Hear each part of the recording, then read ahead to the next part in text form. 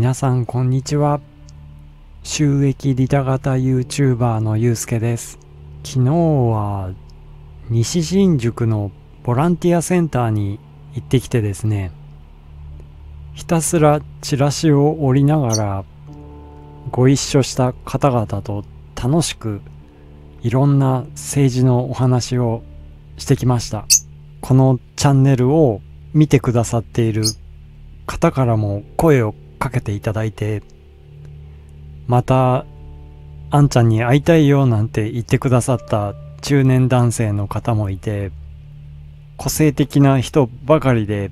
楽しいひとときでしたね。で皆さん共通して愚痴をこぼされるのがやっぱり思ってたのと違う野党共闘についてですよね。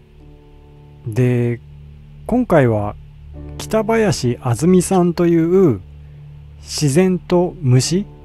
そして山と安曇野を愛しながら里山主義という思想を掲げられている作家の方の破竹騒動の件についてのブログ記事を拝読してものすごく感銘を受けてですね丁寧に朗読させていただきたいと思ったんですけど山本太郎がやっぱりすごいっていうような自己陶酔がしたいわけではなくてですね日本全体を良くしていくためには党派を超えて山本太郎という政治家の政治的感性が絶対不可欠だと僕は思うんですね。科学や理性や論理だけで政権交代できるなら三橋貴明さんは自民党から出馬した際に落選しなかったと思いますし誰より勉強ができる論理的思考能力が高い人々が今頃政権を担ってたところなんだと思うんですよね。けれどもそうはならず格差や世襲や不起訴がまかり通る政治票を捨てる人が50%もいる政治になってるっていうのは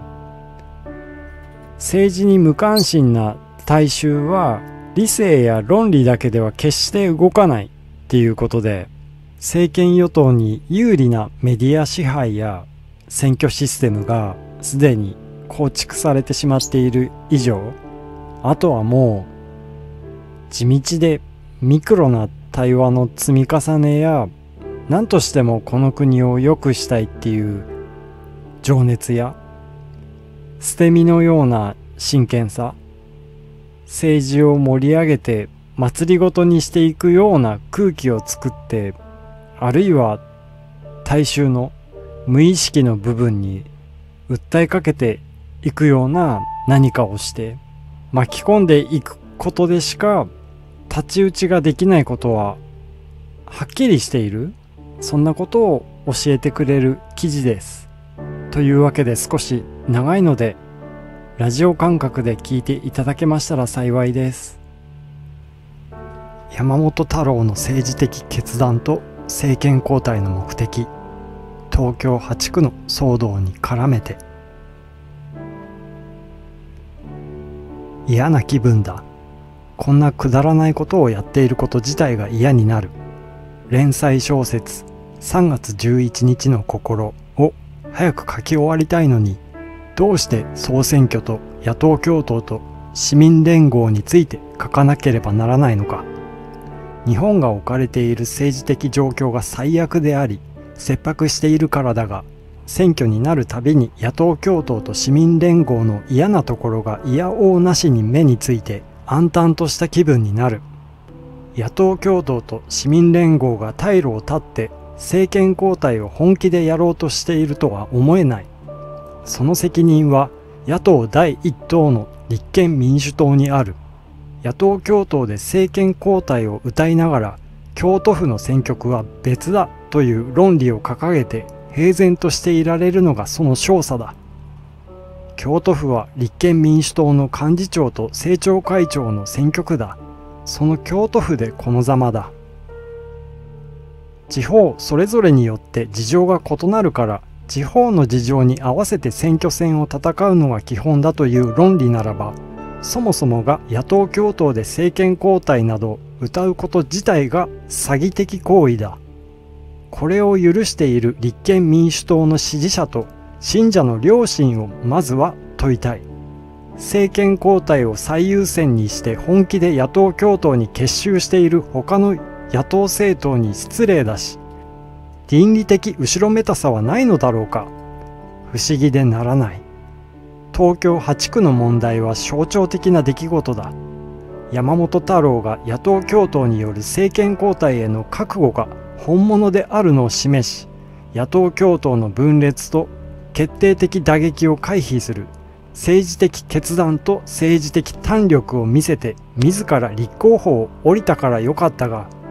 曲がり間違えればその時点で終わっていただろう。市民の力で落下参候補の山本太郎を排除したなどという論理をかざしていられる立憲民主党の狂信的信者には唖然とする。嫌な気分を引きずった前置きはこのぐらいにして本題に入る。そもそもが野党共闘による政権交代の目的と意味とを立憲民主党の支持者と狂信的信者は理解しているのだろうか？理解しているとは到底思えない。安倍政治の9年で日本は徹底的に破壊されたと言えるのだろう。国民の命と暮らしの基盤ばかりか。民主主義の土台まで破壊し国会は形骸化し三権分立は有名無実化しテレビと新聞は脱皮化されてしまったと言っても過言ではないだろう。当然に公平で公正なはずの選挙までが世論誘導によって操作され歪められているのだ。こうした政治的状況の中で安倍政治は極右方向へと舵を切っている。国家権力を監視する社会的使命を担っているはずのマスコミが脱皮化してしまい世論操作に加担するまでに堕落している現実を見れば戦前のファシズム国家へとなだれ込む危険性が差し迫っているのを感じられるはずだ。自民党議員はどんな犯罪を犯しても不起訴になる。腐敗しきった国がこの日本という国なのだ。だからこの流れを断ち切ろうと野党共闘による政権交代を高らかに掲げたのではなかったのか。政権交代とは腐りきった日本という国に民主主義を取り戻し当たり前の社会的倫理と社会正義とそして正常なジャーナリズムが息づく国の姿を蘇らせるという目的だったはずだ。立憲民主党による長期政権が目的ではない。真っ当な国にするのが目的だ。つまりそれなくして民主主義を前提にした選挙さえもが行えないという現実を直視すべきだろう民主主義が復活すればそこがスタート地点なのだその地点に立てば政党としての独自の政治的理念と方向性と政策等を棚上げして野党共闘などに結集する必要はなくなる。それが真っ当な政党の姿だろう。野党共闘とは緊急的な旧国政権のようなものだ。それを立憲民主党の支持者と狂信的信者は理解しているのだろうか。理解していれば政権交代立憲民主党の長期政権を樹立するための政権交代ではないを目的とした総選挙の位置づけと戦い方が通常の選挙と違ってくるのは当たり前だ戦略と戦術が重要となってくるその戦略と戦術も野党共闘の旗ともいえる対局に立った戦略と戦術がまずありその下に都道府県の状況に合わせた戦略と戦術が練られるのは当然だ。が、旗がいかに重要かは言うまでもないだろう。だから、立憲民主党の京都府のような論理は成り立たなくなる。こうした前提で私は総選挙を戦う戦略として祭りの要素が必要であり、国民の心をその祭りに引き寄せて国民を巻き込み政権交代と希望とをリンクさせた形での社会的空気の情勢が是が非でも必要だというと立憲民主党の狂信的信者とあろうことか日本共産党の狂信的信者までから非難の嵐が襲いかかってきたから呆れ果てた次第だ。どうして非難するのかというと政治は空気ではないというのだ。そんなことは言われなくても分かっている。空気を利用して政権交代しても前の民主党政権のように国民の失望を買って短命に終わるとの批判もあった。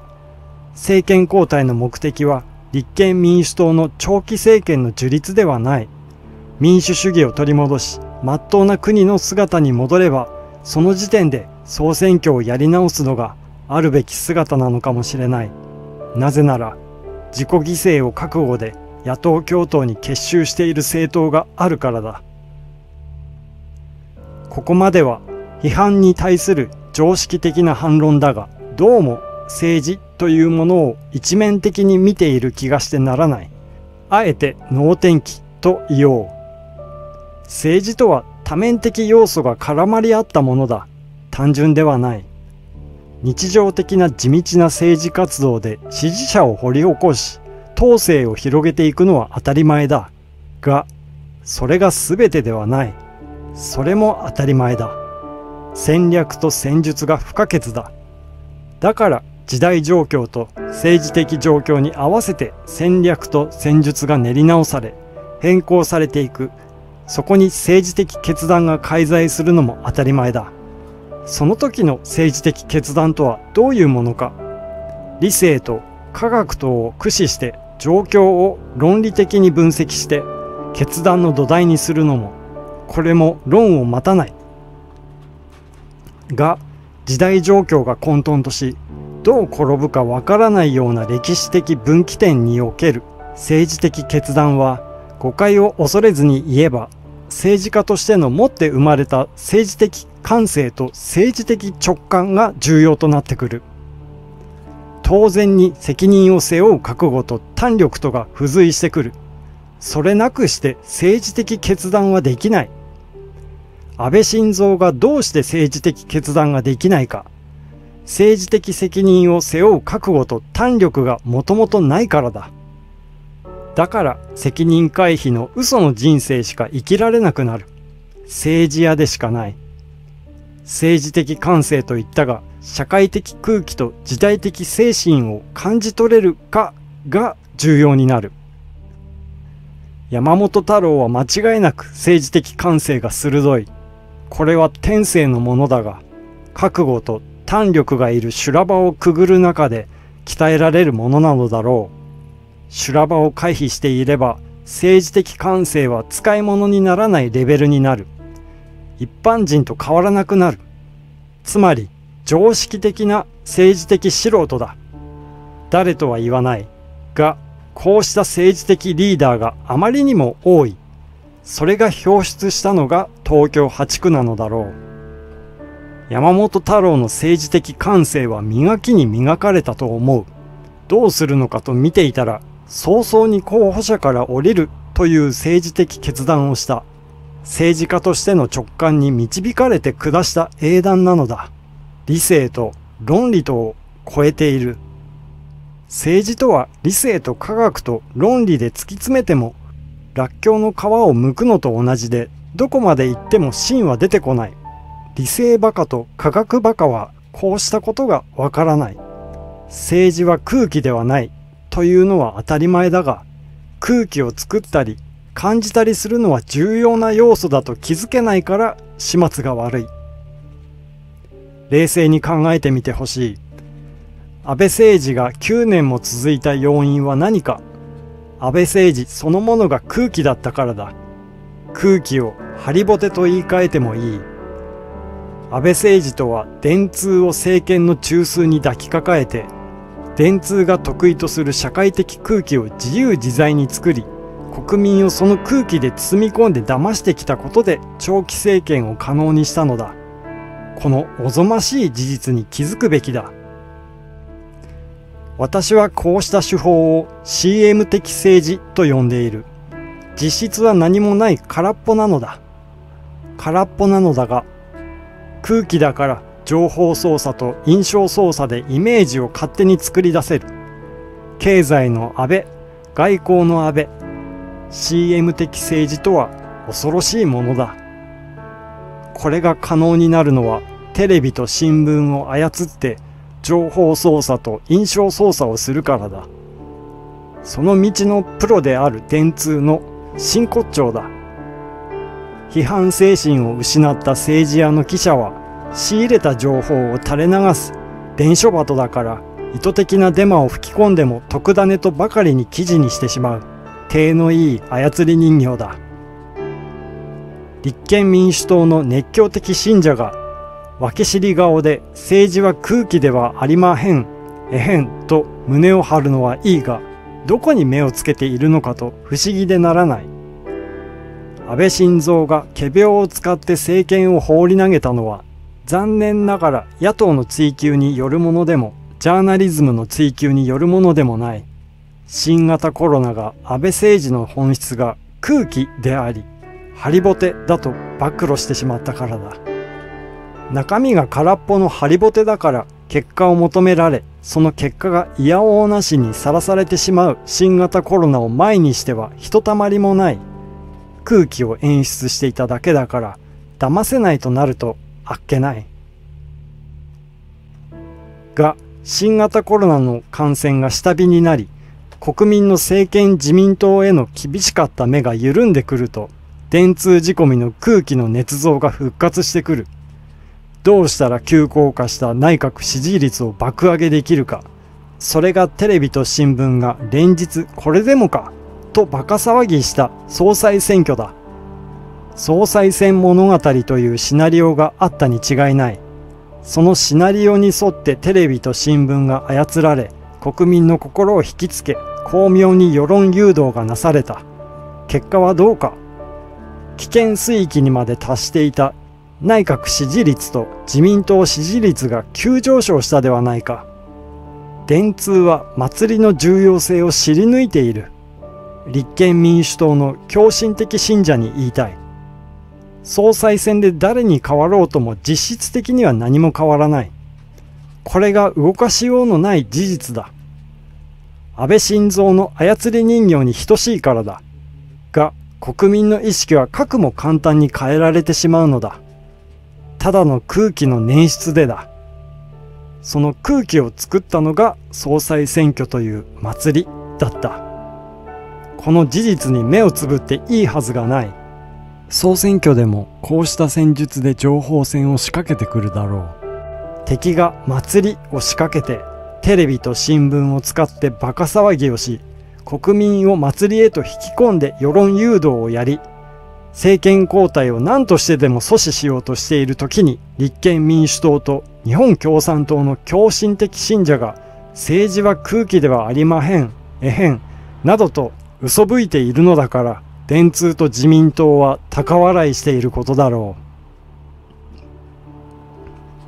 う。何も政権自民党のようにデマに等しい祭りをしろと言っているのではない。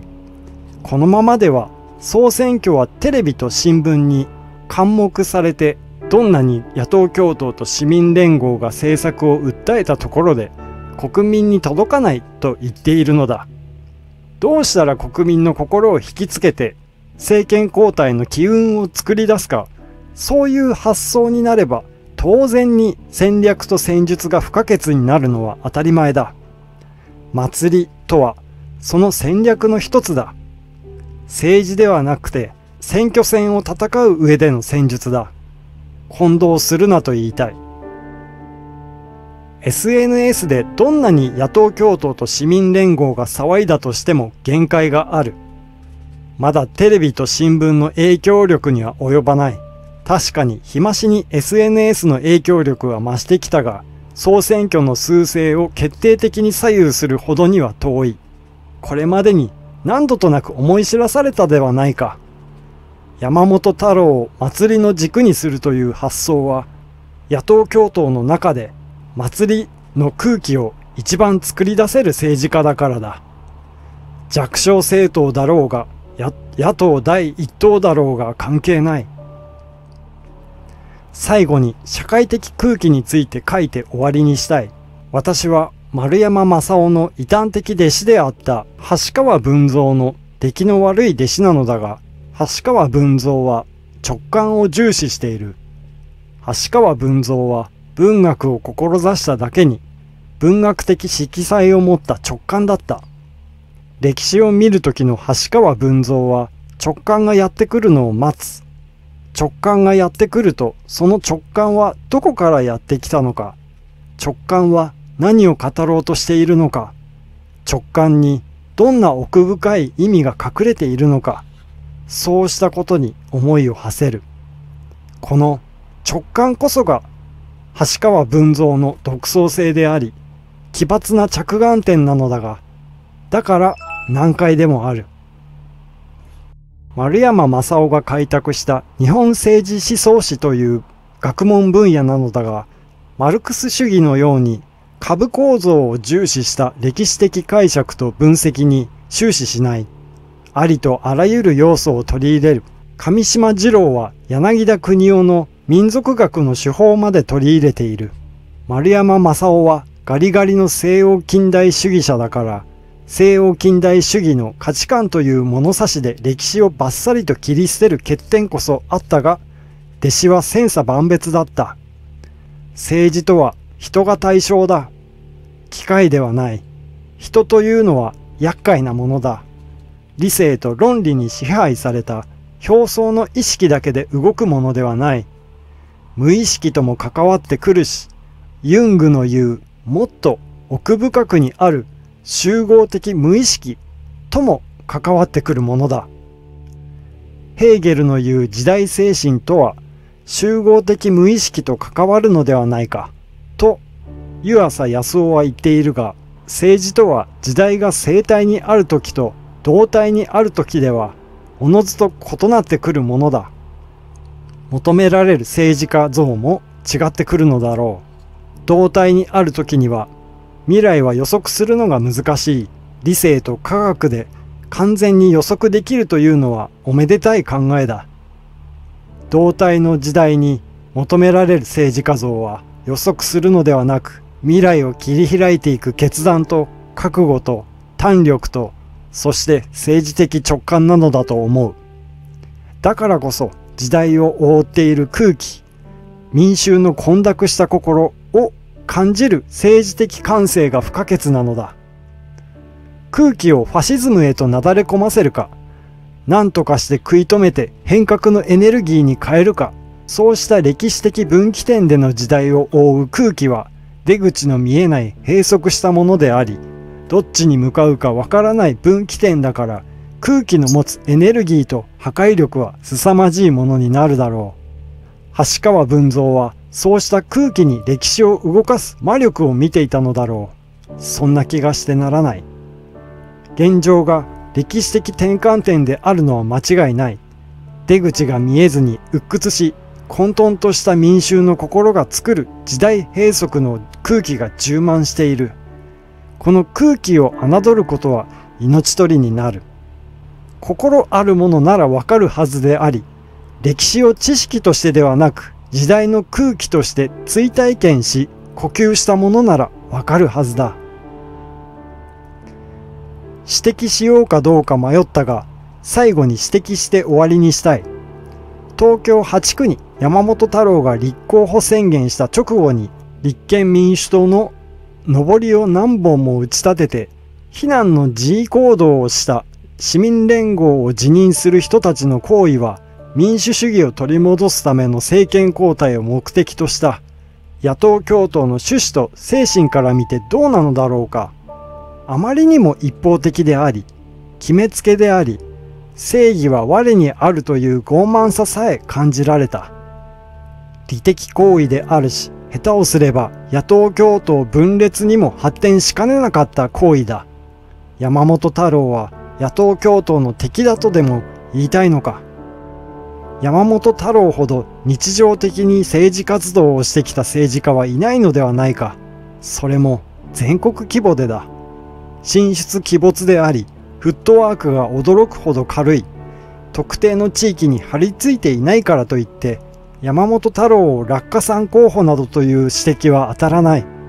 従来の野党共闘では救い取れない層の掘り起こしをやってきたのだその層こそが真っ先に救いの手を待っている層だという直感があるのだろう。自殺と隣り合わせで救いの手を待っているのに気づいているから山本太郎は請求になってしまうのだ。一刻の猶予もない危機感があるからだ。それに気づけない市民連合だとしたら市民連合など空想な言葉でしかないだろう。上りを打ち立てて G 行動をしている市民連合を目にして政権よいしょの新聞とテレビはここぞとばかりに野党のバラバラさを報道し野党共闘の分裂を煽っている。女性候補者につきまとい嫌がらせに近い行為で質問をする記者たちがいる。こうなったのは後先考えずに上りを林立させて G 行動を取った結果だろう。良かれと思った行動なのだろうが女性候補をここまで追い込んだのは市民連合だ。無残としか言いようがない。女性候補が参議院選挙での出馬を飲んでいたなら取り返しがつかなくなる。意地悪な見方をすればこの上りを林立させた市民連合の中に野党共闘を分裂する指令を受けた工作員がいることだってあり得る。そうした異様な光景だった。市民連合だから市民の代表だというのは傲慢だろう。市民は一括りにできない。そんなことをしていたら市民連合と国民の溝ができてしまう。市民連合だけが政治を動かしているのではない。農村と漁村でも静かにしかししっかりと政治が動き始めている。ため息しか出ないが絶望はしていられない。歴史的分岐点になる総選挙だからだ前に進むしかない最後に山本太郎と支持者にエールを送りたい山本太郎よ政治的決断をありがとうその決断を胸に刻みつける。さあ、前に向かって歩き出そう。ということなんですけど、市民連合という組織の傀儡である枝野さんや福山さんはおそらくその本質は自公政権の人々とあんまり変わらないと思います。政権交代できたとしても次元的な積極財政がなされるだけで日本社会の根本的な闇は変わらない。僕はそのことを破竹騒動と破竹騒動後の山口二郎さんや枝野さんの言動や振る舞いを経て確信することになりました。野党共闘とは呼べない令和新選組を排除するための共闘のような傲慢さが浮かび上がってきた今政権交代できてもそんな枝野さんが首相になることを受け入れなければならない現実が見えた今勝負の日を目前に所在情けな心持ちの方も多いかと思うんですよね。僕から今言えることは皆さんはすでに山本太郎と令和新選組という真実と闇夜を照らす光っていうものを手にしていると思うんですね。皆さん一人一人のこの先の人生もそうですけど政治の世界もまたこの先何が起こるか分かりませんし何が待ち受けるのかも誰にも分かりません。こういう時こそ自分の気持ちに正直になるっていうことが大事かなと悔いのないように自分が一番自分らしくあれる選択や決心をして行動をしてその後のことはもう神の溝を知るところですかね。はい。今回も最後までご視聴くださりありがとうございました。